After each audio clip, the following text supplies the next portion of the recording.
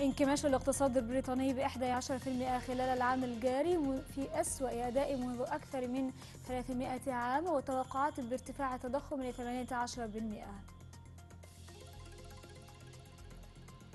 أسعار الذهب تهبط لأدنى مستوى له منذ ثلاثة أسابيع بسبب ارتفاع الدولار ومخاوف من زيادة سعر الفائدة الأمريكية في الإسماعيلية محصول وفير من المانجو مع استخدام تقنيات التهوية المناسبة وزراعة أنواع جديدة تتحمل الحرارة المرتفعة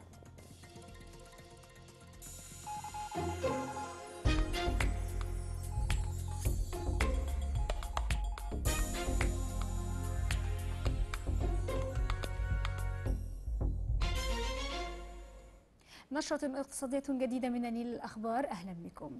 سجلت بريطانيا مستوى قياسي من الانكماش الاقتصادي في عام 2020 لم تسجله منذ 300 عاما وذلك بسبب جائحة كورونا والأزمة الأوكرانية حيث تراجع الناتج المحلي الإجمالي بنسبة 11% حسب بيانات مكتب الإحصاء البريطاني. كما توقع المحللون الاقتصاديون أن يرتفع معدل التضخم في بريطانيا بنسبة 18% بداية من عام 2023 2020 وهو أعلى بتسع مرات من المستهدف الذي حدده بنك إنجلترا وذلك في ضوء القفزة الأخيرة في أسعار الطاقة. قالت وزارة التحول البيئي الإيطالية إن الصناعات كثيفة الاستهلاك للطاقة في إيطاليا بدأت تعدل إنتاجها لتوفير الطاقة في الوقت الذي تواجه فيه صعوبات بسبب ارتفاع تكاليف الطاقة. وحصلت إيطاليا في العام الماضي على ما يقرب من 40% من الغاز الذي استوردته من الخارج من روسيا إلا أنها أبرمت في الآونة الأخيرة صفقات مع عدة دول بديلة منتجة للغاز لتقليل اعتمادها على موسكو. اقتصاديون إن مجلس الاحتياطي الاتحادي الأمريكي سيرفع أسعار الفائدة 50 نقطة أساس في سبتمبر وسط توقعات بأن التضخم وصل ذروته ومخاوف متزايدة من الركود. ولم يستبعد رئيس مجلس الاحتياطي الاتحادي جيروم بأن الشهر الماضي إبطاء وتيرة الزيادات في الفائدة. خفض المصرف المركزي الصيني مرة أخرى هذا العام اثنين من معدلات الفائدة المرجعية لدعم الاقتصاد الذي أضعفته أزمة العقارات والقيود الصحية. وتم خفض معدل القرض الأساسي على أساس سنوي الذي يشكل مرجعا لأفضل المعدلات التي يمكن أن تقدمها المصارف للشركات والأسر من 3.70 في إلى 3.65% ومعدل الفائدة على خمس سنوات وهو المرجعي لقروض الرهن من 4.45 إلى 3.4%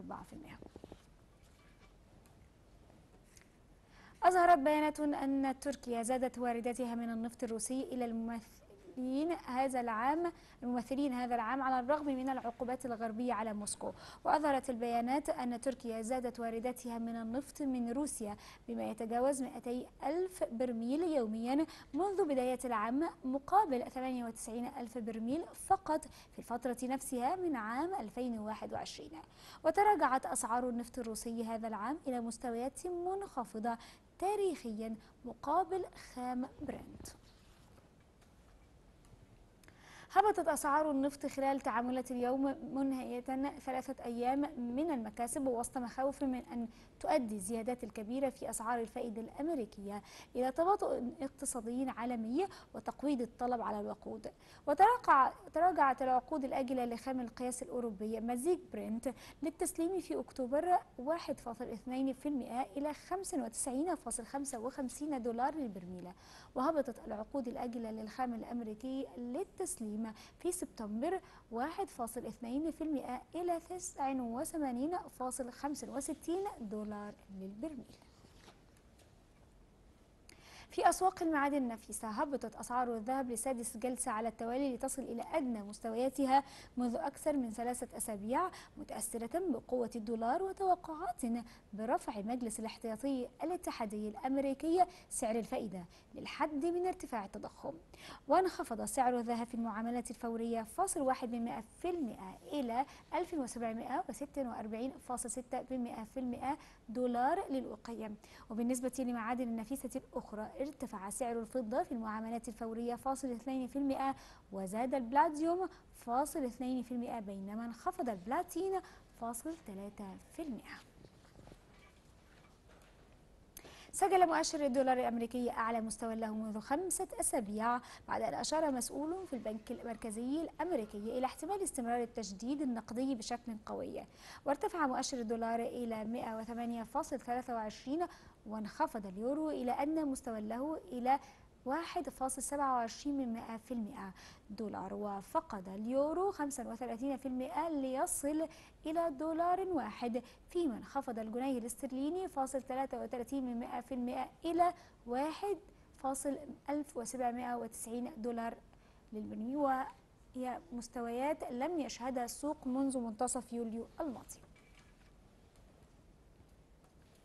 انخفضت الأسهم الأوروبية وسط مخاوف بين المستثمرين من اتخاذ إجراءات متشددة من صناع السياسة في البنك المركزي الأوروبي. وانخفض المؤشر ستوكس 600 الأوروبي فاصل 2% وتراجع مؤشر داكس الألماني فاصل 4% وهبط مؤشر كاك الفرنسي فاصل 7%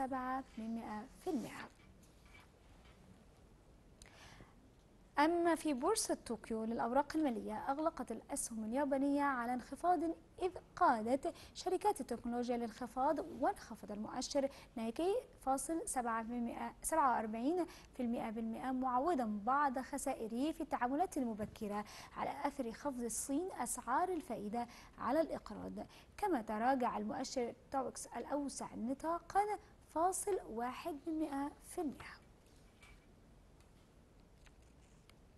شهدت أسعار صرف الدولار الأمريكي استقرارا خلال تعاملات اليوم مقابل الجنيه المصري في البنوك المصرية وفي أكبر بنكين حكوميين من حيث الأصول والتعاملات. الأهلي ومصر سجل سعر الصرف الدولار 19.10 جنيه للشراء و19.16 جنيه للبيع.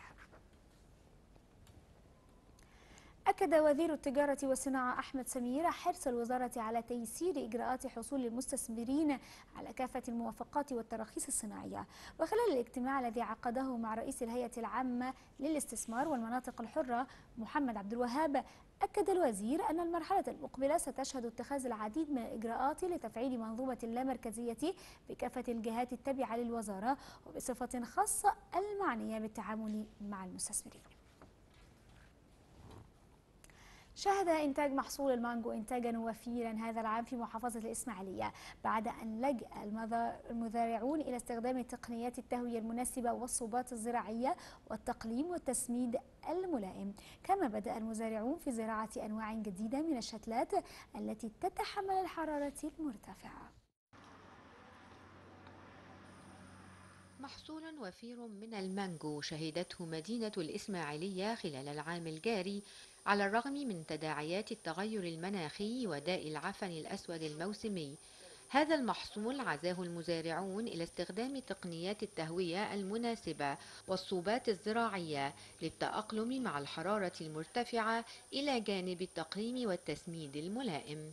السنة دي بسم الله ما شاء الله معظم مزارع مصر كلها طرحة تاخد من أول الصعيد اسكندرية الصحراوي والإسماعيلية طبعا أساس المانجا برضو طرحه كويس جدا جدا جدا. في أي نعم آه، نسبة السكري قليل السنة دي برضو في إسماعيلية وهو أساس المانجا. بس برضو الوضع الوضع العام عن سنين قبل كده برضو وضع كويس جدا. المحصول عاد إلى طبيعته تقريبا بعد الخسائر التي شهدها العام الماضي بسبب موجات الحرارة غير المتوقعة خاصة مع زراعة أنواع جديدة من شتلات المانجو والتي يمكنها تحمل الحرارة المرتفعة. بالنسبة لمقاومة تغيرات الجو بالنسبة للأصناف الأجنبية بيكون الارتفاع بتاعها مش عالي.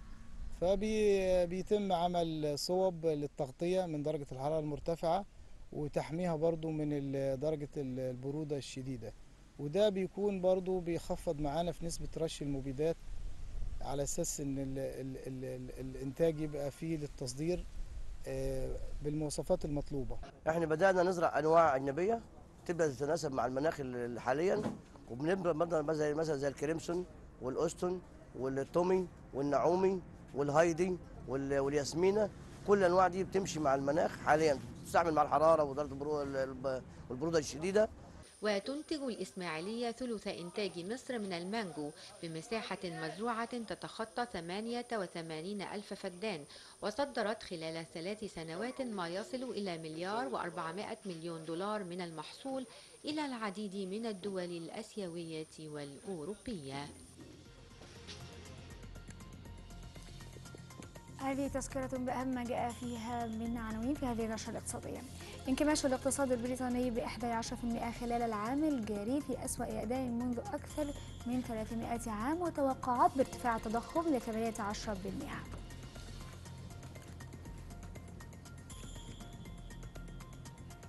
أسعار الذهب تهبط لأدنى مستوى لها منذ ثلاثة أسابيع بسبب ارتفاع الدولار ومخاوف من زيادة سعر الفائدة الأمريكية. وفي الإسماعيلية محصول وفير من المانجو مع استخدام تقنيات التهوية المناسبة وزراعة أنواع جديدة تتحمل الحرارة المرتفعة. مشاهدينا هذه كانت أخبار الاقتصاد من نيل الأخبار. شكرا لكم.